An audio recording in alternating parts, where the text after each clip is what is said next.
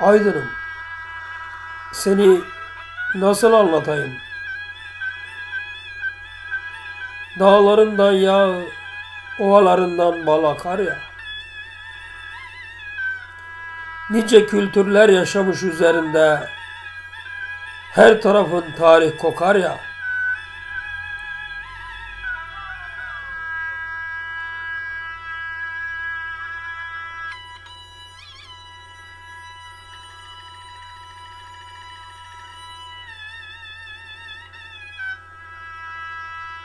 Dağların eteklerinde yaşar yörükler.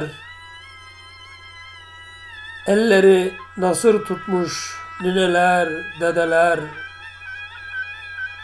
Aydın'ın yörüklerinden çıkmadı mı yörük Aliler, Adnan Menderesler.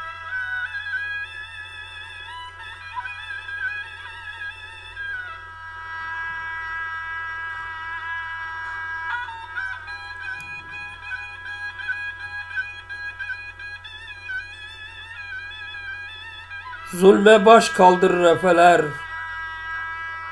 Vatanı koruyan, kurtaran yiğitler. Aydınlıyız, özümüz yörüktür. Yörüğün özü, Türk oğlu Türktür.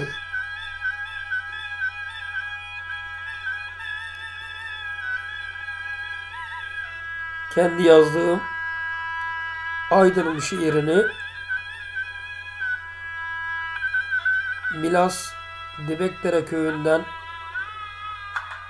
Mehmet kardeşimin zurnası eşliğinde söyledim. Herkese sevgi ve selamlarımı sunuyorum.